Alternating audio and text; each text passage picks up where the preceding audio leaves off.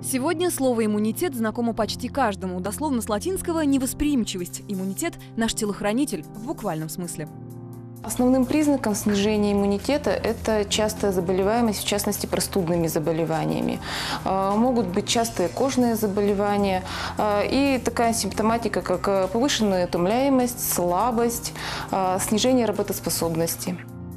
Помочь защитным силам организма перейти в наступление в состоянии каждый. Ешьте курагу, изюм, чернослив и мед. И лимоны. Народные средства и спорт – самое лучшее средство для поднятия, для поддержания иммунитета. Фрукты, овощи, больше на воздухе гулять. Спорт. У нас, слава богу, снег есть, поэтому лыжи, коньки. Баня это хорошо, полезно. Э, Много лет э, люди этим пользуются и здоровые при этом. Витамины пьем. утречком э, душ принять холодный и все, и все будет хорошо. Чтобы результат был заметным, необходимо понять, что заботиться об укреплении иммунитета нужно не время от времени, а постоянно. Основные методы,